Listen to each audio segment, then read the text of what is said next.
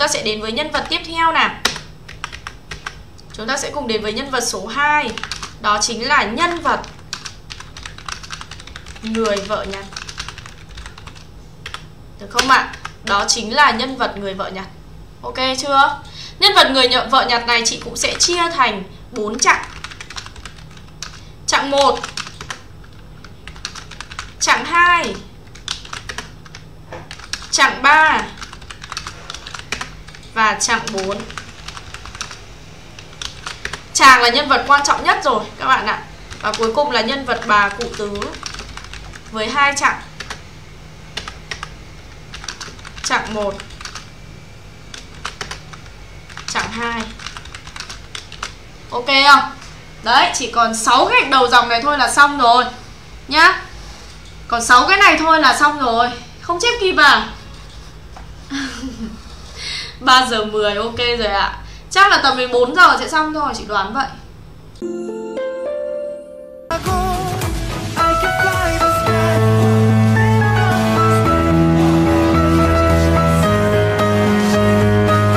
Học văn chị Hiên hơn cả một bài văn Đồng ý không?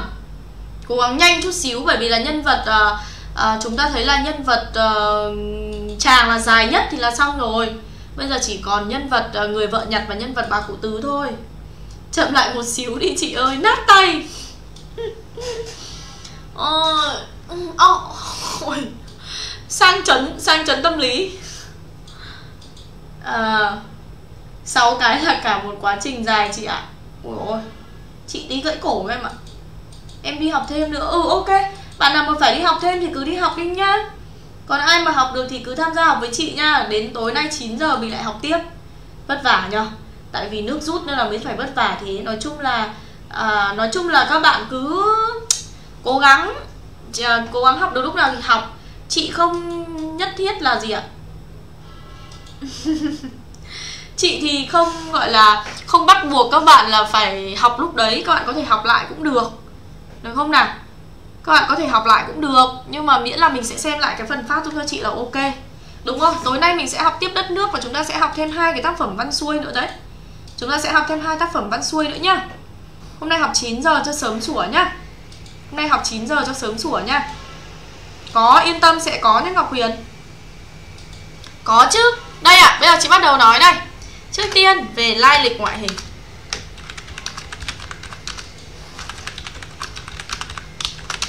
Được không ạ?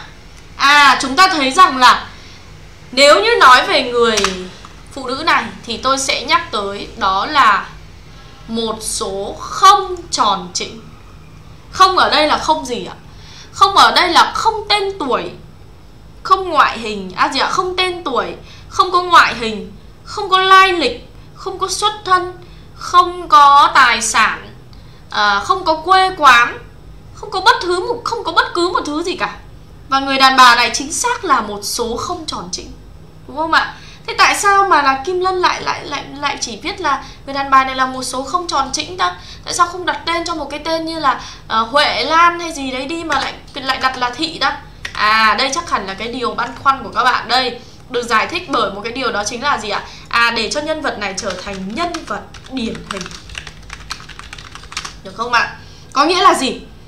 Có nghĩa là uh, nhân vật này là một cái nhân vật mà chúng ta sẽ bắt gặp rất là nhiều.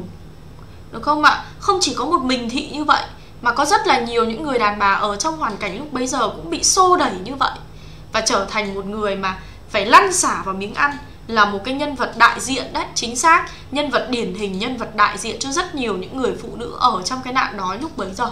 Ok chưa nào? Thế như chị nói thì đây là một số không tròn chỉnh không tên, không tuổi, không quê quán, không nghề nghiệp, không tài sản. Xuất hiện trong một tình huống éo le nhưng cũng thật bi hài. Sớ chưa thay khi cái đói khiến cho bản thân con người bị dồn ép đến bước đường cùng phải chấp nhận theo không phải làm vợ của một người đàn ông dù mới chỉ gặp hai lần. Theo không, một người đàn ông vừa nghèo vừa xấu lại không có một chút hứa hẹn về tương lai, về tương lai. Đúng không ạ? Thị xuất hiện với một cái bộ dạng gây ám ảnh. Đó là gì ạ? À đó là tay vân ve tà áo đã rách bờ. Tay vân ve tà áo đã rách bờ đúng không ạ? Tay vân ve tả áo đã rất rách bợt, thân hình tiều tụy khổ sở. Thân hình tiều tụy khổ sở. Thân hình tiều tụy khổ sở. Thị rách quá, Quần áo tả tơi như tổ đỉa, Thị gầy sọp hẳn đi. Trên khuôn mặt lưỡi cày xám xịt Chỉ còn trông thấy hai con mắt. Ok không ạ? À? Chúng ta thấy rằng là gì ạ? À đây là một cái thân hình ấy Với cách ăn mặc ấy Đã nói lên một sự thực xót xa Và người phụ nữ này Mang dáng vẻ của một con ma đói Đúng không ạ? Đang trên bờ vực Của cái chết vì đói Ok chưa nào? Lưu ý cái phần này giúp chị nhá Đang trên bờ vực của một cái chết vì đói Ok không? Nhá không phải đọc rap đâu, Cái đoạn đấy là cái đoạn mà Cái đoạn đấy là cái đoạn mà chị chị chị nói rồi Chị đọc lại cho nhanh thôi nhá, Chị có chị có bắn rap đâu Ok chưa? Lưu ý giúp chị cái phần này nhá Rồi, bây giờ thì chúng ta sẽ cùng đến với Những cái chặng tiếp theo này Được không ạ? Chặng 1 Được không ạ? Lần gặp gỡ đầu tiên không có gì cả Phải không? Thị chỉ đon đả Lần một này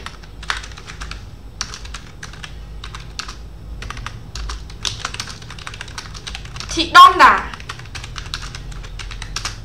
được không ạ? À? Lần gặp một thì thị đon đả làm gì nhỉ? À ra đẩy xe Cho trả Đúng không? Lần hai Thì thị làm gì nhỉ? Sầm sập chạy đến Đúng không? Mắng xa xả Vào mặt anh cô trả À Hôm đấy hứa hẹn thế nào mà bây giờ Làm gì đặng hôm đấy mất mặt Đúng không ạ? Thấy không nào? Chúng ta thấy rằng là là thì sầm sập chạy đến mắng xa xả vào anh cu chàng mà người ta còn chưa hiểu cái chuyện gì cả. Đúng không? Cong cớn đứng trước mặt. Đúng không ạ? Sau đó thì gì ạ? À, vòi ăn một cách trắng trợn. Được không nào? Vòi ăn một cách trắng trợn. Đúng không? Sau đó thì làm gì nhỉ? À, cắm đầu. Ăn một chặp bốn bát bánh đúc lấy đũa quẹt ngang miệng. Và thốt lên, hà, ngon. Đúng không ạ? Chúng ta thấy như thế nào? Chúng ta thấy nhân vật này như nào nhỉ các bạn nhỉ? À có thể thấy rằng là chẳng trò chuyện gì cả. Cứ thế là ăn một chặp bốn bát bánh đúc lấy đũa quẹt ngang miệng, chẳng cần trò chuyện với ai. À chúng ta có thể thấy là gì ạ? Tất cả cái thiên tính nữ. Thiên tính nữ mất đi. Chỉ còn lại ở đây là hình ảnh của một người đàn bà. Như thế nào nhỉ? Rất là trắng trợn Chơ chẽn Chân cháo Đúng không ạ? À gì nữa? Chanh chua Chồng lòn Đúng không? Lăn xả vào miếng ăn Phải không nào? Lăn xả vào miếng ăn Đúng không ạ? Và sau đó, Thị còn có một hành động rất liều lĩnh. Hành động liều lĩnh. Đó là Theo chàng về nhà Được không ạ? Một hành động rất liều lĩnh và bất ngờ Và khiến cho chàng còn ngạc nhiên. Theo không một người đàn ông xa lạ Chưa hề biết ra cảnh quê quán tên tuổi, Chấp nhận trao thân gửi phận cho một người chỉ mới ngỏ một cái lời tầm vơ tầm phào. Được không nào? Và người đàn bà này đã không thể giấu được tình cảnh đói khát và ước mong chạy trốn cái đói của bản thân mình. Một hành động vô cùng liều lĩnh, Đúng không ạ? Chúng ta thấy được rằng là để giải thích cho cái hành động này Thì chúng ta sẽ thấy lúc bấy giờ với thị. Lý giải cho hành động này. Với thị, Thì cái giá Của nhân phẩm không đắt bằng cái giá của sự sống.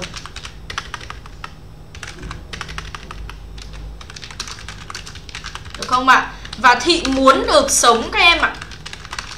thị muốn được sống được không ạ à? nên là thị sẽ bám víu vào bất kể chỗ nào bám víu được được không ạ thật ra là nó cũng chỉ xuất phát từ cái mong muốn được sống thôi ý, gọi là sâu hơn thì sẽ là cái sức sống tiềm tàng trong chính nhân vật thị này thôi được không nào? Ước mong muốn chạy trốn cái đói thôi Nên là Thị mới phải làm một cái hành động liều lĩnh như vậy Và để rồi dẫn đến biến diễn biến tâm trạng này Tiếp theo, đó là trên đường về nhà thì sao?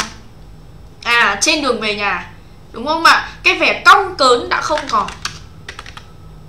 Vẻ chanh chua. Cong cớn Đã không còn. Được không ạ? Thay vào đó là hình ảnh của một người phụ nữ ngượng nghịu, ngượng ngập. Được không ạ? Xấu hổ. Xấu hổ. Cứ lấy cái nón che nửa mặt. Đúng không ạ? Lấy cái nón rách tàng nghiêng nghiêng che khuất đi nửa mặt. Đúng không ạ? Thì bây giờ có vẻ rón rén và e thẹn.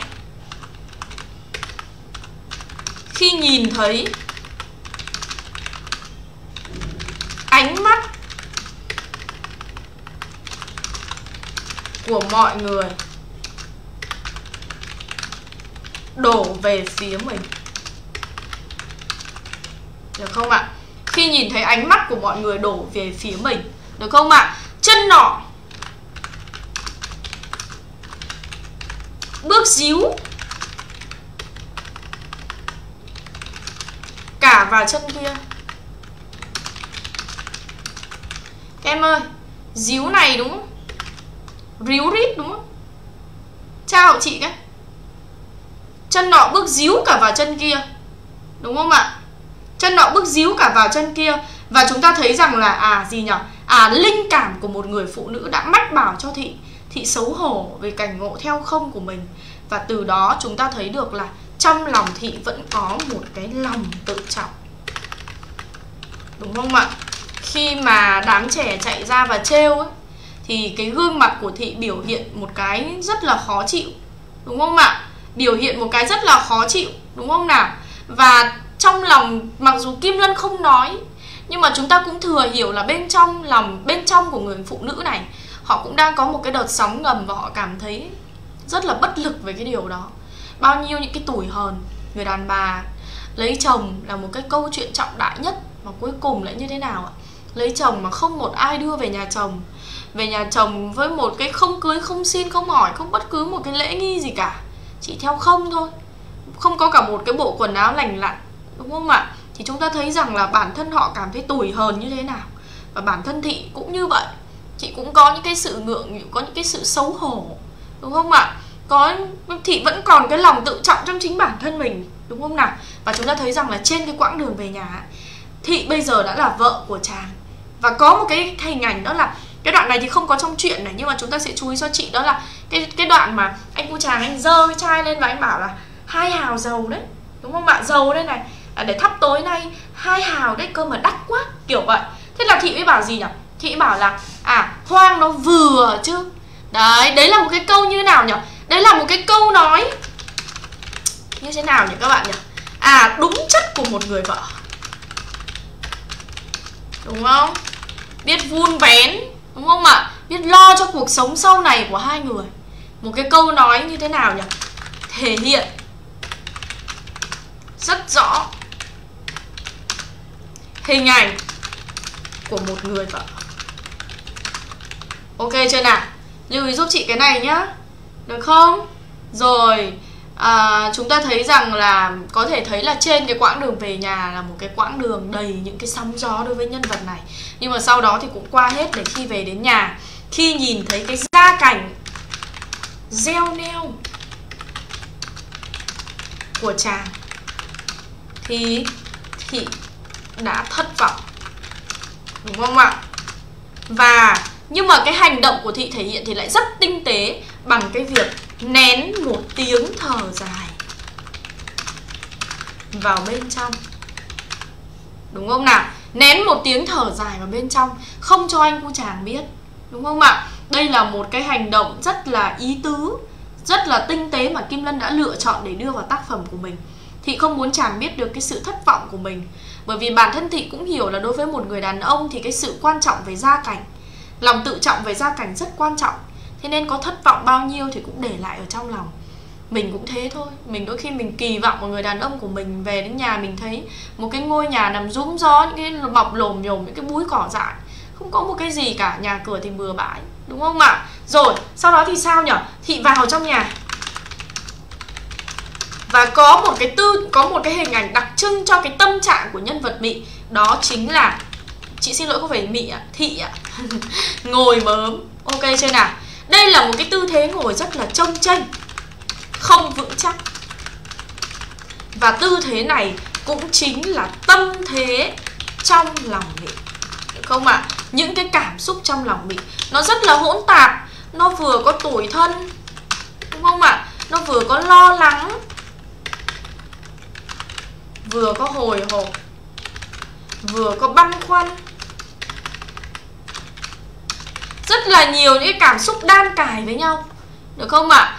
có khi là kiểu rất là đau đớn, tức là tự mình cảm thấy tủi thân lắm, nhưng mà cũng không để cho nước mắt chảy ra ngoài được mà phải nuốt nước mắt ngược vào trong. Lo lắng rằng không biết một lát nữa mẹ chồng về thì có chấp nhận một người con dâu như mình hay không? Đúng không ạ? Cứ ngồi mớm như vậy và tay thì ôm khư khư cái thúng. Tay ôm khư khư cái thúng ngồi mớm ở mép giường. Được không ạ? Cảm giác rất là tranh vênh, không vững chắc. Một cái tư thế đầy mặc cảm, đầy hụt hẫng và đầy lo lắng. Nỗi buồn tủi tự nhiên dâng ngập trong lòng người vợ nhặt thế nhưng không để trào ra mà nén tất cả vào trong. Không khóc được, đúng không ạ? Và sau đó như thế nào nhỉ? À với bà cụ tứ khi mẹ chồng về thì thị cư xử rất đúng mực. Đúng không ạ? Việc luôn biết giữ lễ, lễ độ trong mọi hành động đều rất lễ phép và đúng mực. Ok chưa nào? Nhá. Sau đó thì sao? Chặng 4 là buổi sáng hôm sau. Được không nào? Về đến nhà. Đây là trên đường về nhà. Được không ạ? Đây là hai lần gặp gỡ. Ok chưa? Buổi sáng hôm sau thì sao nhỉ? À, thị bây giờ đã có một cái sự thay đổi rất là chóng mặt Đúng không ạ? À, dậy sớm cùng mẹ chồng Ô, sao thế nhỉ? Đợi chị xíu nhá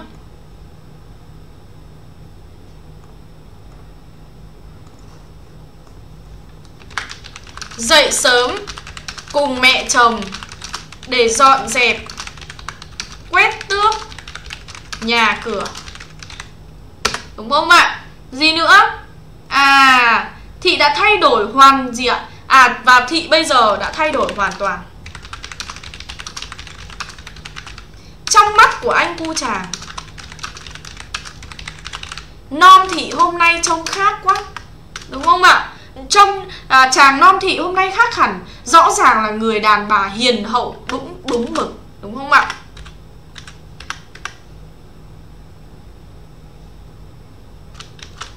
Ơ sao quý vị A còng nhỉ?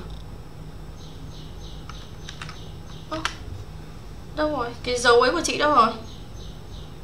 Sao thế ta?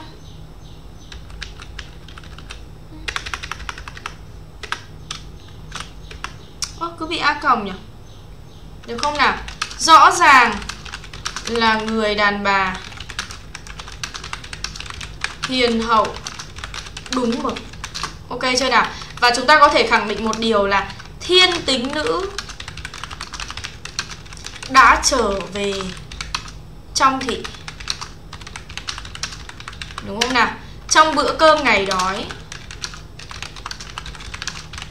khi được đãi món, chè khoán hay chính là cháo cám. Ok, em ơi, đợi chị xíu nhé Đợi chị một giây thôi.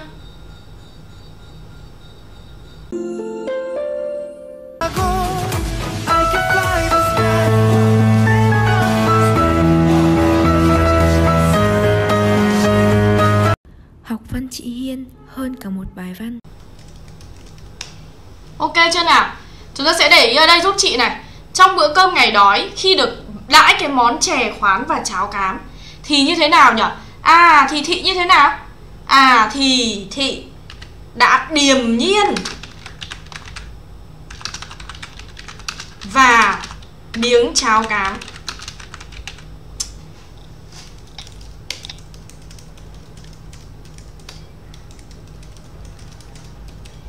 Được không nào? Điềm nhiên và miếng cháo cám vào miệng Ok chưa ạ? Chúng ta thấy rằng đây là một cái hành động thể hiện sự chấp nhận Sự chấp nhận của thị Có nghĩa là dẫu cho là cái gia cảnh của nhà chồng mình có khó khăn đến đâu Đúng không ạ? Dẫu cho là cái gia cảnh có khó khăn đến đâu, Thì thị vẫn sẽ chấp nhận gánh vác cùng những người thân của mình Được không nào? Và chính thị cũng là người khai sáng cho anh cu chàng, cho chồng mình về Việt Minh về cách mạng để hứa hẹn rằng cả hai con người này mang trong mình một cái căn cốt khỏe mạnh được không ạ? Sau đó sẽ trở thành những cái người tham gia vào cách mạng để tự mình giải phóng cho cuộc sống của chính mình. Ok chưa nào?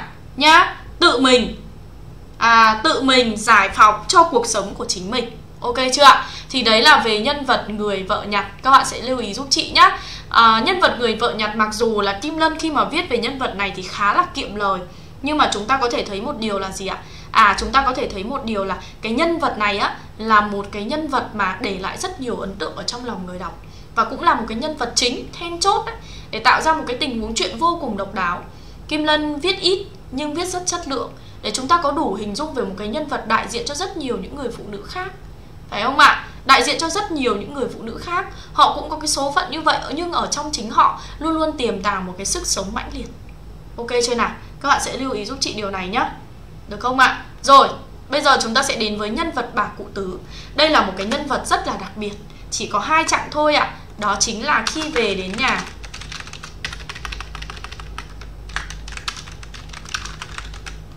Được không nào? Và buổi sáng hôm sau Hình ảnh của một người mẹ lúc nào cũng nhen nhóm cho những đứa con của mình niềm vui, phải không ạ? Đó chính là bà cụ tứ. Bà cụ tứ giống như là một ngọn lửa ấy, để sưởi ấm à, những cái lúc mà cảm thấy đứa con của mình cảm thấy tranh vênh hay gì đó thì bà là một cái hậu phương rất là vững chắc và lúc nào bà cụ tứ cũng chỉ chỉ toàn kể những cái chuyện vui với những đứa con của mình thôi phải không ạ bà cụ tứ hiện lên qua ngòi bút miêu tả chân thực của nhà văn kim lân. Đầu tiên là một gì đây ạ? À không nói cụ thể về ngoại hình đâu nhá. Là tiếng ho xuất hiện với tiếng ho húng hắng. Được không nào? Xuất hiện với tiếng ho húng hắng, phẩy, dáng người lọng khọng. Tiếng ho húng hắng, dáng người lọng khọng, phẩy, miệng lầm bầm phẩy, đôi mắt hấp háy Được không ạ? À chúng ta thấy rằng là cái hình ảnh này gợi ra một cái chân dung như thế nào nhỉ các bạn nhỉ? À một người mẹ, nông dân, già yếu, nghèo khổ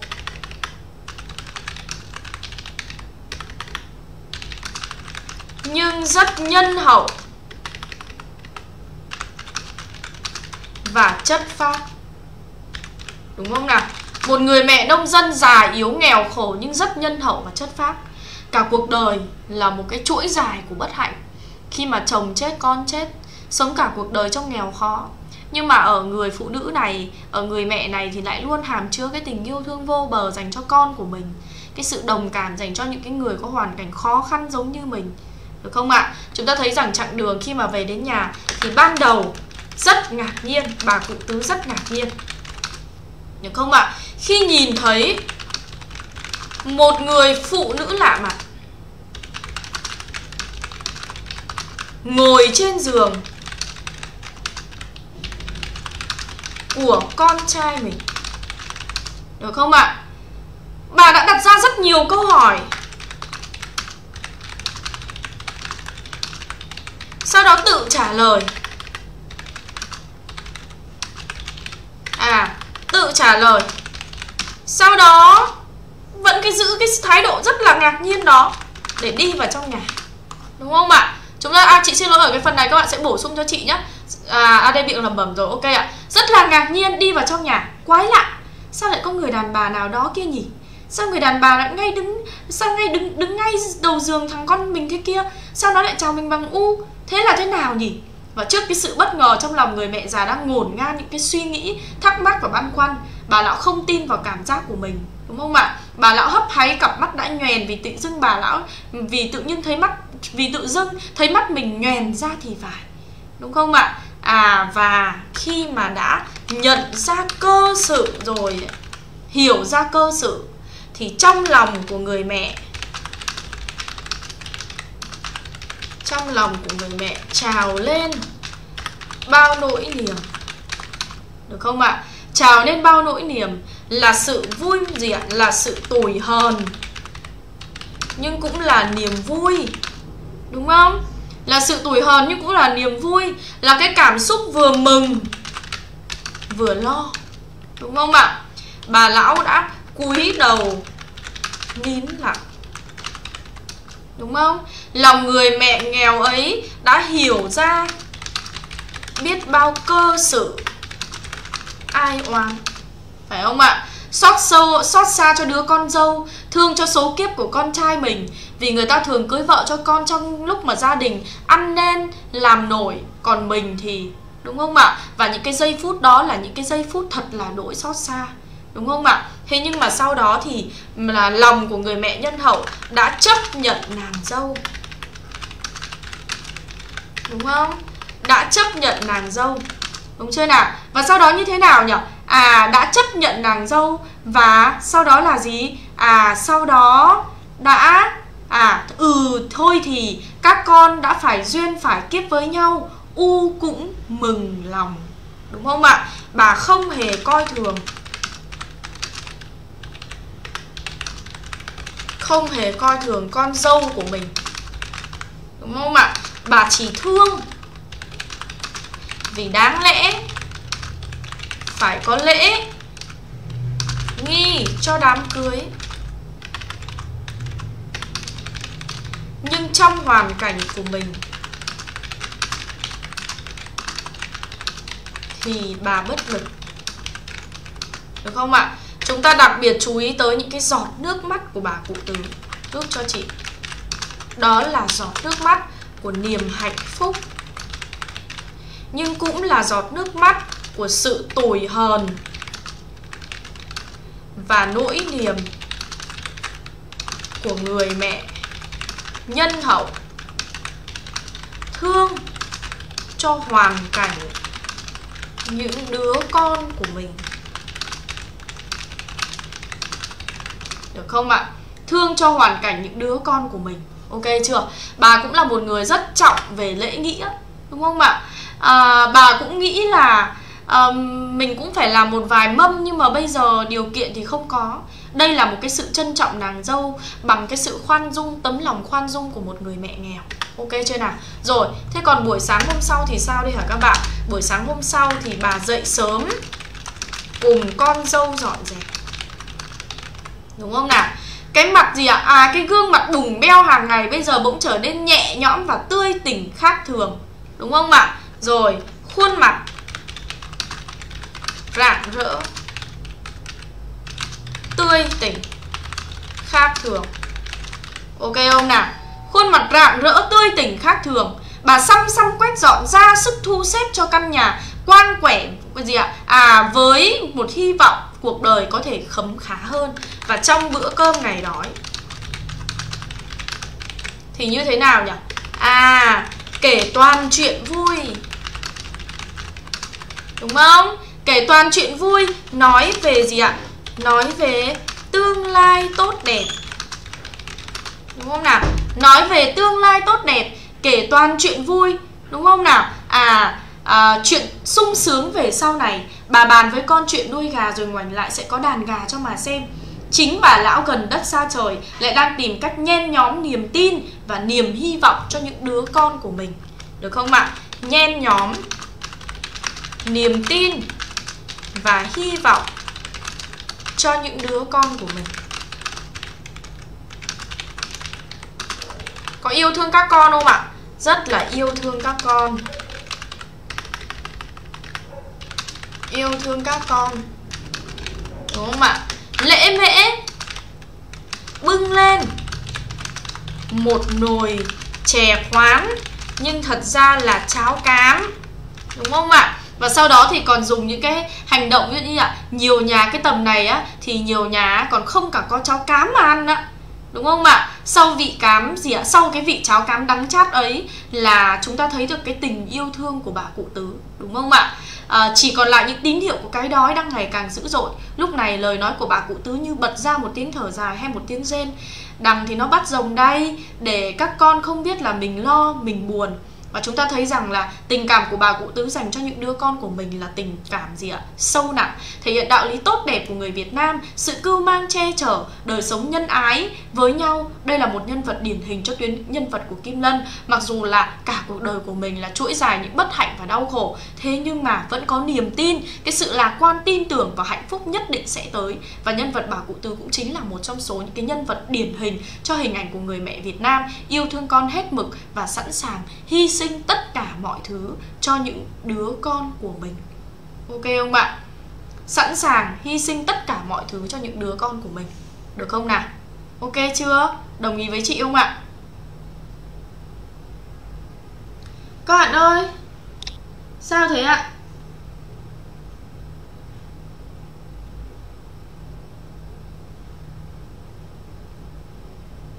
Chị ơi, nghỉ tí. Ừ. Hôm qua chiến bài này chắc tới 4 giờ sáng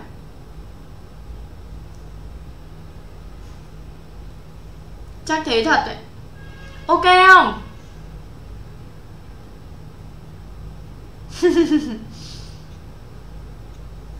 Được không ạ? Đồng ý, đồng ý Có mệt không các em?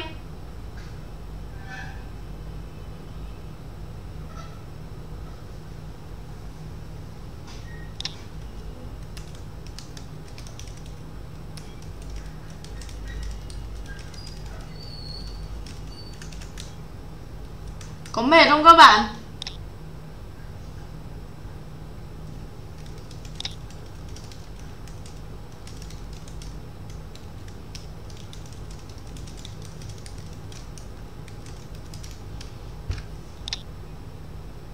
Ok chưa nào?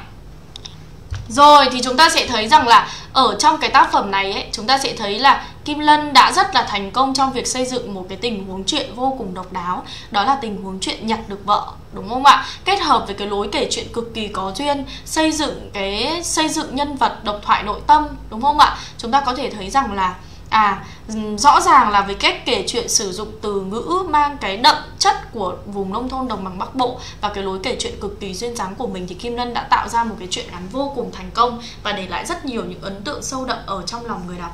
Ok chưa nào? Nhá.